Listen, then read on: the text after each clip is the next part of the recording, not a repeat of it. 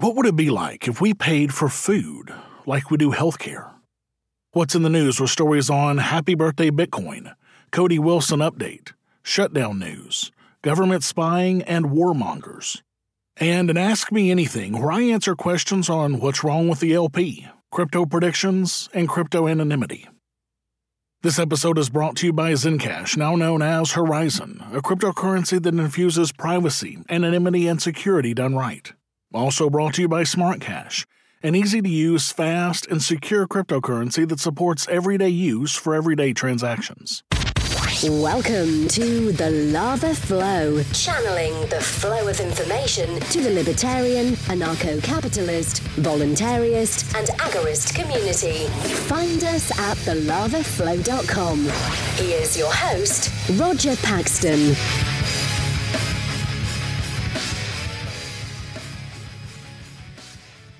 Thank you for joining me this week. From the state that has only four states smaller than it in size, this is the show that will bring you the people, places, and events that everyone in the Liberty Rebellion needs to know. You can catch me on Twitter at the Lava Flow Pod. This is episode 117 Buy Food Like Healthcare, and it's Tuesday, January 22nd, 2018, when there have already been more than 45 people killed by police this year and the United States debt clock shows us at more than 21 trillion, 952 billion, 200 million dollars in debt. What's wrestling my jimmies this week? You're about to find out. Let's do it to it. First of all, I want to apologize for the last couple of weeks with no episodes. Between traveling, getting sick twice in a row, and another short mini vacation to the water park, which was part of my boys' Christmas presents, I have been swamped. But I'm back in action now, so all is well. But thank you for your patience. On to the show. In my normal perusing of the interwebs for content for this show, I came across an article at fee.org by the Foundation for Economic Education. This article is titled Imagine If We Paid for Food Like We Do Healthcare. It was written by Dr. Ryan Neuhofel. And damn, guys, this is a really, really good article. It's so good, in fact, that I don't want my listeners to miss this one. So I'm going to do something that I rarely ever do. As a matter of fact, I don't think I've ever done it in 117 episodes of the Lava Flow and almost 60 lava spurts. I am going to take this article basically verbatim and read it here. So here we go. An affordable food plan. You enter the grocery store parking lot at 4:15 p.m., having taken off work early because this particular store closes at 5 p.m. This food market wasn't your personal preference based on quality, service, amenities, and price. You chose it, like all of your previous food choices, because it was included in your new Food Management Plans network.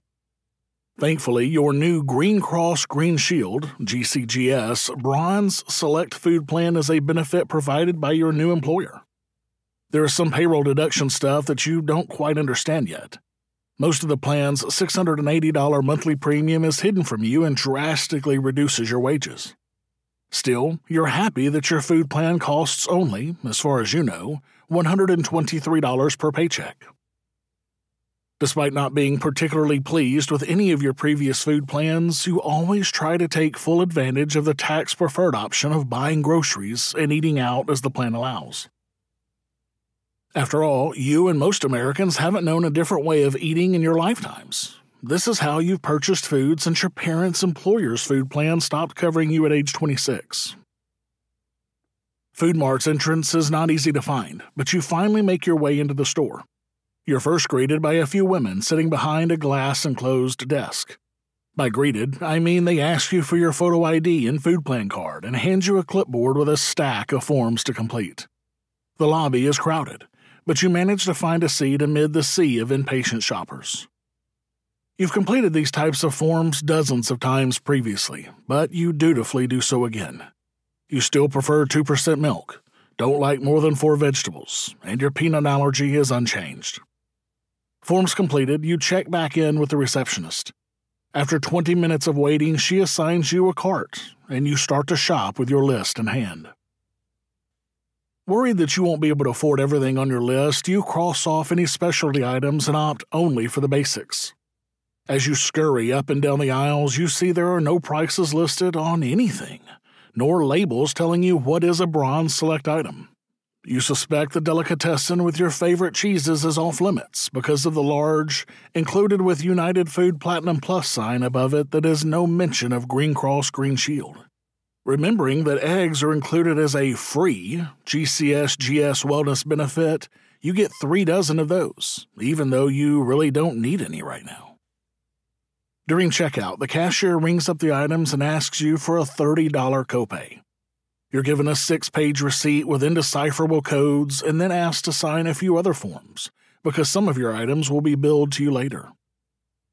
As you drive home, you remember that your monthly food deductible is $250, and you hope that the balance of the bill isn't overly expensive. Several months in the future, you get a bill for $276 for Food Mart. Although vaguely suspicious that you've been taken advantage of somehow, you're happy that you got a big discount on your $18 box of Tasty Flakes cereal and have now reached your deductible. Overall, your experience with Food Mart was confusing, but you remain thankful that you have access to food through your GCGS plan. Some of your self employed friends are much worse off. Rising costs. The next day, in the mood for tamales, you decide to treat yourself to a Mexican restaurant nearby that you've heard is great. The last time you attempted homemade tamales, it was a disaster, so you leave this to professionals from now on. Upon arrival, you are saddened to learn that Lola's Cocina is not part of your GCGS plan. You decide to go down the street to Burrito King, which prominently displays proud to accept GCGS Bronze Select members in its window. They don't serve tamales, but you are determined to stay in network for lunch. After waiting a while to be seated, the waiter takes your order. He seems distracted, and you hope he heard the order correctly. Eventually, a lukewarm burrito arrives at your table. You rush to finish it so you can get back to work on time. Upon checkout, you present the waiter your GCGS card and you are asked to pay a $10 copay. The billing statement weeks later reveals that the plan discount did reduce the initial charge from $64 to $37, and that GCGS paid Burrito King another $27 a few months later, which was applied to your deductible. You question how a simple burrito can cost $37, but nobody, including the majority of food policy experts, knows exactly why. Given the escalating prices and dysfunction of the food industry in recent decades, everyone has their favorite boogeyman to blame for these high costs. Bob, the burrito shop owner, food management companies, Big Tortilla, technology, various political parties, government inaction, and of course the fact that profiting from food is legal. Although many burrito makers and food management companies are designated as not for profit. But it's actually quite logical. Burrito King, a small restaurant, employs four cashiers out front and seven people in their business office, in addition to the usual staff to cook and serve food. Their head chef, Bob, spends much of his time completing forms to justify why the deluxe burrito you ordered included black beans instead of the standard pinto. He is burned out and ready to quit altogether. All of these hoops drastically increase the difficulty and costs of business, necessitating higher revenues and prices. And Burrito King didn't bill you or your plan $64 because they are greedy. They contract with dozens of different food plans that have different contracted rates for each item determined annually by contract. To simplify their billing, they must choose a universal charge master rate that is many magnitudes above what any food plan has agreed to pay them. Nobody, except for people without a food plan, will ever actually pay the charge master rate. You might ask, if Green Cross Green Shield is paying the bills, why don't they rein in the cost of tasty flakes and burritos? Well, they actually make more money when food prices are high. Government intervention. Regardless of your favorite scapegoat, most people can agree that having a good food management plan has become increasingly important. It is technically possible to buy a food plan on the private market, but the vast majority of people take whatever their employer offers. The government bestowed a big tax break on employer purchased food plans a few generations ago. However, now even employers are struggling to absorb the inflation of food plan premiums. They have started to shift more of these costs to employees, increasing both your payroll deduction each month and your out of pocket costs every time you actually need to eat. Gone are the days of good food plans with $5 copays and $50 deductibles. If you're wondering why the federal government hasn't intervened to fix this, they have, repeatedly. A couple of generations ago, federal and state governments created a myriad of food management programs for various vulnerable populations, including the elderly and the poor.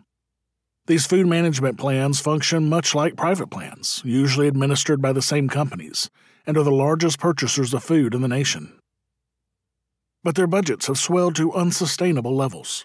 To fix this, the government has cut rates paid to food suppliers. In reaction, many food stores and restaurants are opting out of these programs altogether, greatly limiting the choices of where poor and elderly Americans can purchase food or eat. A few decades ago, Congress granted the Private American Food Association, the AFA, an already powerful private organization of food suppliers, the authority to set the relative value, price paid, of each food item through a complex coding system. The AFA committee that determines pricing for federal programs has widespread impact, and most private food plans follow the same formulas. Predictably, the AFA Value Committee has become a source of cronyism that favors certain players in the food industry. Despite decades of government interventions, many have still struggled to afford food. So, several years ago, Congress passed the Affordable Sustenance Act, also known as ASA or Obama Food. The goals of this plan were numerous, but the main gist was to expand programs for low income people, subsidize private food plans, moderate income people on food.gov, and create a legal mandate for all Americans to purchase a qualified food plan. After a few years of national political disputes, including whether free range pork should be a standard food plan benefit, the ASA's mandates were eventually imposed. The ASA has increased the number of people with food plans from 86% to 92%, but hasn't much alternated the trajectory of escalating food prices. Our national spending on food now stands at nearly 20% of GDP, and those without subsidies continue to be burdened by high costs. Not surprisingly, Green Cross, Green Shield, and other private food management companies, being middlemen for most of the money Americans spend on food, have continued to make healthy profits regardless. Dwindling choices.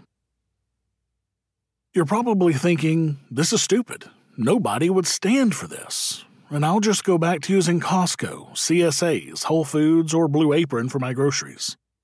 Open Table and Uber Eats will allow me to seamlessly order food from my favorite restaurants. I'm sorry to inform you that those companies, services, and technologies do not exist in a world where we purchase food like this.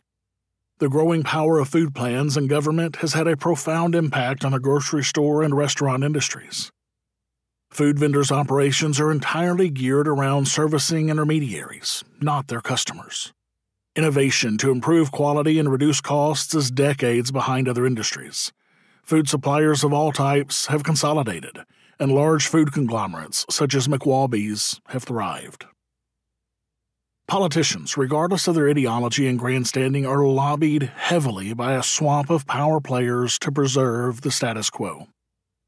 Understandably, most Americans are fed up with all of this, and an increasing number now believe the only solution is a nationally, federally administered single food plan. This dystopia won't be easy to fix, but don't despair. There is a sliver of hope. In recent years, there has been a small but growing underground movement bypassing this Byzantine food management, managed healthcare, system. These rebel grocers and chefs, independent doctors, are directly providing their customers, patients, with quality, affordable food and meals, medical care. What's in the news? The news you need to know from a libertarian perspective. In happy birthday news, on January 3rd, Bitcoin reached its 10th birthday, marking 10 years since the creation of the Genesis block on the Bitcoin blockchain. Whereas Bitcoin's theoretical foundations were laid with the publication of the Bitcoin white paper on October 31, 2008, January 3, 2009 heralds the first practical implementation of the world's first cryptocurrency, the realization of a peer to peer and cryptographically secure system for transacting in digital cash. As data from the Bitcoin Block Explorer tool indicates, Block 0, counted as Block 1 in very early versions of the blockchain, was mined on January 3, 2009 at 1:15 p.m. Eastern Standard Time with a reward of 50 BTC. Today that reward would be worth about $191,000, but at the time its value was inestimable. Bitcoin's first ever recorded trading price was noted on March 17, 2010, a year later, on the now defunct trading platform bitcoinmarket.com at a value of 0.003 cents. As I write this week's episode, the price of a single Bitcoin is around $3,600, way down from its highest of $19,800 in December of 2017, but still higher than it was in September of 2017. It's been a rough 13 months for cryptocurrencies across the board, but I am still personally all in on cryptocurrencies. I'm as bullish today as I ever was, and I don't see that changing anytime soon. In a Cody Wilson update, Texas has indicted Cody Wilson on multiple counts of sexual assault of a minor. More than three months have passed since a warrant initially went out for Defense Distributed founder Cody Wilson's arrest. That document detailed Wilson's alleged sexual assault against a female child younger than 17 years of age, whom he reportedly solicited through the website SugarDaddyMeet.com. On December 28th, the state of Texas finally formally indicted Wilson. The 3D printed gun advocate now faces multiple charges four counts of sexual assault of a child, two charges of indecency with a child by contact, and two charges of indecency with a child by exposure. These charges are all second degree felonies, punishable by up to 20 years in prison and fines of up to $10,000 each. One of Wilson's attorneys, F. Andino Reynal, said, Mr. Wilson at all times believed reasonably that the complaining witness was a consenting adult. We are confident that once all of the facts are out and we have a chance to interface with the DA's office more directly, that we'll be able to resolve this matter. For now, Wilson remains out of jail on a $150,000 bond, though he is being monitored, as evidenced by a motion to travel out of state granted by the courts for the winter holidays. As for his former company, the Defense Distributed founder has been formally removed as a director, according to its public information report filed with the Texas Comptroller's Office. The PIR for the related organization Ghost Gunner Incorporated has yet to be updated for 2018 and still lists Wilson as a director. Now, look, this is all a bunch of trumped up bullshit. Cody went to a website that was for adults only. As a matter of fact, to create an account on the site, sugardaddymeet.com, you have to say you're 18 or older. He had every reason to believe he was dealing with a consenting adult, and absolutely no way to know that he wasn't. Is he supposed to card his dates now? Are we all? And let's be clear if this had happened in Arkansas or Oklahoma, two states that literally border Texas, and have a consenting age law that is 16, just one year lower than the Texas law at 17, this would not have been an issue at all legally. Zencash has changed their name to Horizen to better represent their transition from a pure cryptocurrency to a pioneering platform that protects consumer data. They're focusing more on the wider vision of what Zencash was all about. The new name, Horizen, reinforces that the project is forward thinking and visionary and will broaden the horizons of what the community can accomplish in the world using the platform. Not only is it one of the best privacy oriented cryptocurrencies with zero knowledge technology built into it, but they also have private chat over their network. And soon, Horizen will include the ability to publish information and go anywhere on the web, all with complete privacy. They are working toward the day when anyone will be able to build privacy based applications on the Horizen platform and generate income from them. This will allow Horizen to bring thousands of real life services to the community services that provide freedom, utility, and privacy. The unique spelling of Horizen is a nod to their heritage and recognizes that they remain committed to the vision that their project was built upon. Their coin and ticker symbol remains Zen. So Zencash is now Horizen, and Horizen is bringing privacy to life. You can learn more at horizen.global. That's H O R I Z E N dot global. In shutdown news, private companies have been paying to keep Yellowstone National Park clean during the shutdown. Several weeks into the government shutdown, some of America's national parks are starting to get a bit rank. Access is free, since there are no employees to collect the typical $35 per vehicle entrance fees, but that comes with the trade off of there being no employees to empty trash bins or clean toilets either. But at Yellowstone National Park, National Public Radio reports local businesses are chipping in to make sure the bathrooms get cleaned, the roads get plowed, and the tourists keep coming. Even in the middle of winter, the park gets an estimated 20,000 visitors per month, and those hardy folks want to rent snowmobiles, hire tour guides, and take sightseeing trips. The private sector businesses that thrive on these tourist dollars have a pretty strong incentive to make sure Yellowstone remains accessible. Xanterra Parks and Resorts, which runs the only hotels inside Yellowstone that remain open during the winter, is leading the effort to cover the $7,500 daily tab for keeping the roads plowed and the snowmobile trails groomed during the shutdown. Thirteen other private businesses that offer tours of the park are chipping in $300 a day to help cover that expense as well. Meanwhile, Xanterra has some of its own employees assigned to clean park bathrooms during the shutdown and snowmobile tour guides are packing their own toilet paper for customers to use. In all, it seems like a pretty straightforward lesson about how private businesses will respond to changing market conditions and incentives. While some of the business owners profiled by NPR suggest they're chipping in to keep the park open due to altruistic concerns, it should be open and services should be there because it is the people's park, says one. The bottom line is likely still the bottom line. Keeping the park accessible means those businesses can continue to profit off of the tourists, government shutdown or not. In wasted taxpayer dollars news, San Bernardino County has agreed to pay nearly $400,000 to three former middle schoolers to settle a lawsuit stemming from a 2013 arrest a federal court ruled unconstitutional.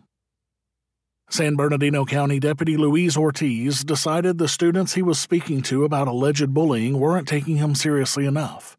So he handcuffed, arrested, and drove three seventh grade girls from Etiwanda Intermediate School to the police station to, quote, teach the girls a lesson. Nothing about this was legal, of course, but the county decided to defend this all the way to the appellate level. The Ninth Circuit Court said, Deputy Ortiz clearly stated that the justification for the arrests was not the commission of a crime, since he did not care who was at fault, nor the school's special need to maintain campus safety, but rather his own desire to prove a point and make the students mature a lot faster. The arrest of a middle schooler, however, cannot be justified as a scare tactic, a lesson in maturity, or a chastisement for perceived disrespect. Deputy Ortiz faced a room of seven seated, mostly quiet middle school girls, and only generalized allegations of fighting and conflict amongst them. Even accounting for what Deputy Ortiz perceived to be non responsiveness to his questioning, the full scale arrests of all seven students, without further inquiry, was both excessively intrusive in light of the girls' young ages and not reasonably related to the school's expressed need. Now, this outcome was all but assured the moment that Ortiz decided to start teaching students lessons by performing unconstitutional arrests. The county's decision to fight the district court's ruling doesn't reflect well on it or its legal representation. Somehow, the county thought that if it just litigated hard enough, it would somehow talk a court into agreeing law enforcement can arrest people just to teach them a lesson. Even when those someones were teens who committed no crime and posed no safety threat to the school or the idiotic law enforcement officer that it had hired. And now, the taxpayers of the county have to shell out $400,000 to the arrested kid. Who is being taught a lesson here? Not the kids he was trying to scare, that's for sure. And I assure you, neither the cop nor the county bureaucrats learned a lesson either. I also imagine the taxpayers in the county didn't learn anything, too. Smart Cash is an easy to use, fast, and secure cryptocurrency that supports everyday use for everyday transactions. Smart Cash is focused on getting the currency back into cryptocurrency, and their vision is to replace centralized fiat currencies in day to day life. Too many cryptos talk about being used as a currency, but they are all focused on something else and leave user experience for both merchant and customer by the wayside. Smart Cash is focused on being used for business payments and POS through such features like their Instant Pay, which allows for trusted transactions in a second, powered and secured by their 20,000 user run smart nodes. Smart Cash also has a Smart Hive proposal system that is funded by the blockchain, where any user can put forth a project proposal to expand the community, ecosystem, or technology. Holding one smart equals one vote, so all users can participate in voting without having to spend hundreds of thousands of dollars to run a full node. The people working on Smart Cash are broken up into six different Smart Hive structuring teams with dedicated team members that are completely funded by the blockchain. There is no CEO, no foundation, no centralized leadership, and there is no need for outside investors to come in and compromise any deals. Check out Smart Cash today at thelavaflow.com slash smart to find out how they are putting the cash into Smart Cash and the currency into cryptocurrency. I believe this is truly a ground floor opportunity to get in on a rising tide. Get a wallet and find an exchange to purchase Smart Cash at thelavaflow.com slash smart. In government spying news, the ACLU has sued the U.S. government, saying that it needs more information about surveillance of Americans' phone and financial records to guide the public debate over what will happen when the law that regulates the scrutiny expires next year. They sued the National Security Agency, the Director of National Intelligence, the CIA, and the Justice Department in Manhattan Federal Court seeking information about a program that collects records during investigations into terrorism or clandestine intelligence activities. According to the lawsuit, the government has not responded to requests made last month for information about its surveillance of Americans under a 2015 law. Congress used the law to set boundaries on the NSA's bulk collection of call records and other data after former NSA contractor and world hero Edward Snowden leaked documents revealing extensive government surveillance. The law requires annual reports to Congress from the intelligence community and forces the government to seek a court order to collect call records to obtain intelligence. Requests of records of U.S. citizens for investigations cannot be based solely on activities protected by the First Amendment. The lawsuit, the ACLU added, is necessary because the public lacks adequate information about how the government collects vast numbers of Americans' communications records, financial records, and other data without a warrant. It said the law was meant to curtail unnecessary surveillance, but data collection continues to occur on an immense scale. For instance, the lawsuit noted the government said it collected over 534 million call detail records in 2017, even though it reported having only 40 surveillance targets. Even the government can't believe that we are stupid enough to believe that 40 people made 534 million calls in 2017, right? Unless maybe they were all teenage girls. In Warmongers news, U.S. Strategic Command, the unified military force that controls the launch of nuclear weapons, tweeted an unusual New Year's Eve message featuring B 2 bombers dropping 30,000 pound conventional weapons at a test range. The tweet from U.S. Strategic Command's official account said, Hashtag Times Square tradition rings in the hashtag New Year by dropping the big ball. If ever needed, we are hashtag ready to drop something much, much bigger. What the actual fuck? The post, later deleted, included a sizzle reel initially released earlier this year showing a B 2 bomber dropping a pair of conventional massive ordnance penetrators at a test range. A Strategic Command spokesperson, Navy Captain Brooke DeWalt, told CNN that the post is part of our recap of command priorities and it's all about reassuring the American people that the U.S. military is ready at all times, even on New Year's Eve. Later that day, Strategic Command tweeted, Our previous NYE tweet was in poor taste and does not reflect our values. We apologize. We are dedicated to the security of America and its allies. But that's exactly the problem here. It's just this kind of tweet that exactly reflects the, their values. Fuck warmongers like the Strategic Command in the neck with a pair of conventional massive ordnance penetrators. Exercise your free market muscles by going to thelavaflow.com slash support and giving a per episode donation of as little as a buck an episode. Or use Bitcoin. Get exclusive content, rewards, and help the Lava Flow become fiscally neutral while providing you more content. thelavaflow.com slash support. Ask me anything. Roger will answer your questions about, well, anything. Do you have a question for Roger? Email AMA at thelavaflow.com or add your question to the latest AMA thread in the Pax Libertas Productions Facebook group. Now, this is becoming perhaps my favorite segment on this show because I love hearing from my listeners and supporters. Supporter Isaac C. asks, What do you think is currently wrong with the Libertarian Party, and what would you do to fix it? To put it simply, Isaac, the LP's biggest issue is that they think they can win elections, period. And they have abandoned the main purpose of the Libertarian Party, which was to educate the masses and not try to achieve electoral success. In my opinion, the only way we will ever achieve the freedom we desire is through education, not elections. Look, the LP has a love of shiny things, namely people like Bob Barr, Gary Johnson, and Bill OG Libertarian Weld. As long as the body of the LP puts men like this above the principles of libertarianism just to try to win elections, the LP will never do anything to advance the cause of liberty. At this point, my belief is that the LP is useless at anything except giving a handful of baby libertarians a place to find real libertarianism. This only happens to a few, sadly. Most baby libertarians go back to being conservatives or libertarians when they realize the LP is not going to win elections. However, a few stubborn baby libertarians, such as myself, have used the LP as a jumping off point to find true, non-violent, peaceful solutions to our problems.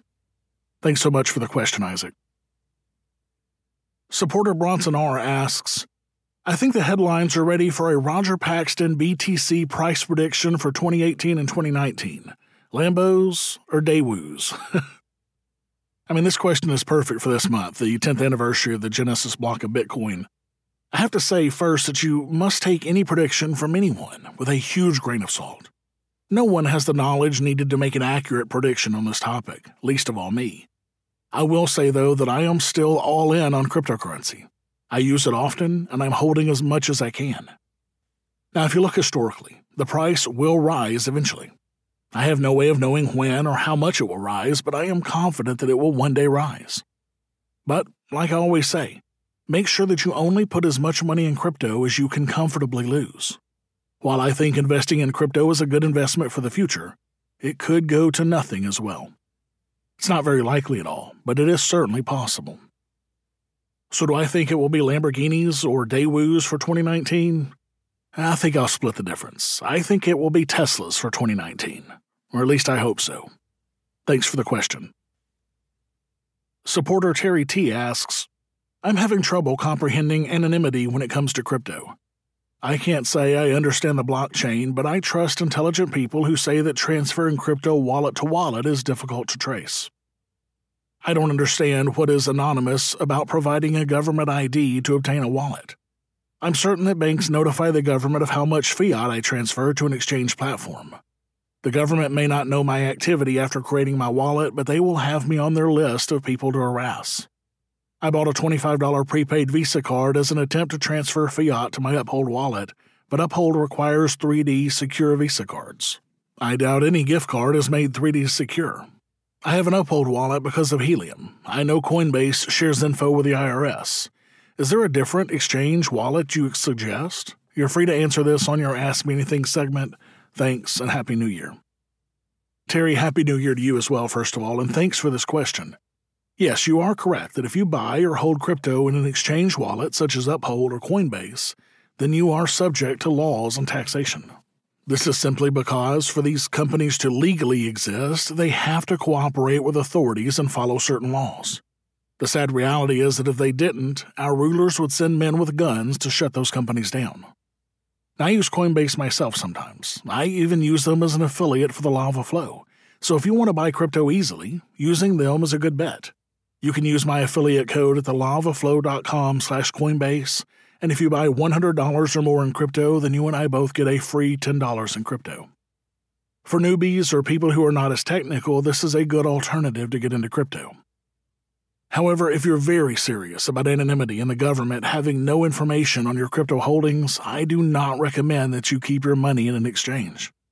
I recommend you use a wallet where you have the keys and you have control 100%. These are wallets that you can keep on your cell phone, on your computer, on a piece of paper, even, or even a hardware wallet. Now, some of the phone and computer wallets I recommend are the Bitcoin.com wallet, which allows you to hold Bitcoin and Bitcoin Cash, the Coinomi wallet, which allows you to hold up to 70 different cryptos, and the Edge wallet, which allows you to hold dozens. For hardware wallets, I recommend anything by Ledger or Trezor. The trick, though, is buying crypto without the government's knowledge. I mean, there are ways to do this, though. You can go to a site called localbitcoins.com and buy Bitcoin in face to face transactions from people using the site. You can also find someone who will accept PayPal for crypto. Perhaps the easiest, though, is to find a crypto ATM in your area. You can go to sites like coinatmradar.com and others to find ATMs local to you. There are also escrow sites like Wall of Coins and BitQuick that allow you to purchase crypto from people remotely. While it is possible to do this, it is still, as you can see, a bit tricky. It depends on how much your privacy matters to you as to how far you'll go. The government knows almost nothing about the extent of my crypto holdings, and I plan to keep it that way. I highly suggest you do the same. Thanks so much for the question, Terry. And remember, guys, if you have a question for me, you can email ama at thelavaflow.com, ask in one of the AMA threads on either the Pax Libertas Productions Facebook group or the Lava Flow Supporters secret Facebook group, or you can even ask through Patreon. Questions from my supporters are always answered first. Thank you for listening to the show this week. As always, I need to thank my favorite Southerner, Jessica, for her help with the show. For the show notes to this episode, where I put links and other information that's been on this show, go to thelavaflow.com slash 117. I have two new supporters through Bitbacker using crypto and one through Patreon this week. Smart Cash creators became a $1 per month donor using Smart Cash through Bitbacker. Thank you so much. And Zaphoid became a $5 per month donor using Smart Cash through Bitbacker. Awesome, Zaphoid. Thank you so much. Welcome aboard. And Steve B became a $2.50 supporter through Patreon. Thank you so much, Steve. That is a huge help. So, thanks to Smart Cash creators, Zaphoid, Steve B, and all of my awesome supporters, I am at $252.50 per episode, or 50.5% of the way towards my next goal of $500 per episode. Guys, thank you all so much for your support, really. However, as you can tell, this is the lowest I've been in a long time. A lot of that is because of the Patreon issue. But guys, please remember, pulling your support from me hurts me way more than it hurts Patreon. Patreon gets about 3% of your money, where I get about 90 to 92% of it. Also, there's always a dip during and after the holidays. But remember, when I hit this next goal, I will be upping the content I bring you from half an hour per week to a full hour. I know you want more content from me, and I want to give it to you, so add your pledge today to help me bring you twice the lava flow that you're getting today. So exercise your free market muscles by going to thelavaflow.com slash support and giving a per episode donation of as little as a buck an episode using Federal Reserve notes through Patreon, or monthly using Subscribestar, or using cryptocurrencies through Bitbacker. I want to be able to bring you more content soon, so make sure to add your donation today to help make that happen. I also have a new Apple podcast review. Hippie Deathwish said, Love the show. Thank you, Roger, for giving this recovering minarchist a fresh perspective on voluntarism. You have a great gift for presenting your principles in such a way that mental barriers fostered by statists don't stand a chance. Recovering minarchist. I love it, Hippie. Thank you so much for that solid review, man. And if you have a minute and you want to hear your review read right here on the show, please go to lavaflow.com slash apple and leave me a rating and a review. All the cool kids are doing it. Thank you to everyone who's left me a rating and a review so far. You guys rock. To all of you who haven't, can you guys help me out and go leave a review for me? Go to thelavaflow.com slash apple to do that now. Until next time, keep striking the root. Thank you for listening to The Lava Flow at thelavaflow.com. Don't miss an episode. Subscribe now at thelavaflow.com forward slash subscribe. This has been a Pax Libertas Productions podcast.